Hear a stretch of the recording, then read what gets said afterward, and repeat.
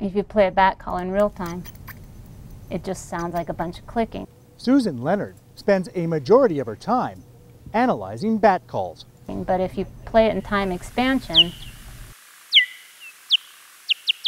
these sounds are made possible by modern technology, which allows researchers to learn more about one of Montana's hardest to study creatures. They operate in the dark when we can't see them, up in the air where we don't go, and they make, for the most part, sounds we can't hear. And it's basically with every advent of, of technology that we can apply to bats, we've learned more about them.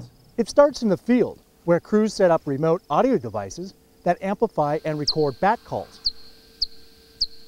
A computer program then processes these calls to determine the species of bat. And, and while it may seem like a simple method, it has taken years to learn how to identify individual species of bats. It's easy to get the, the sound bite from them, but you don't know who made it.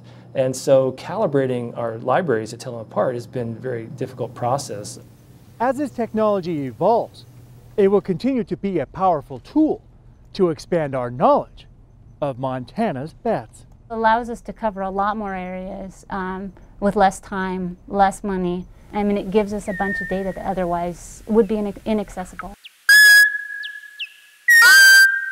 Winston Greely. Out among Montana's fish, wildlife, and parks.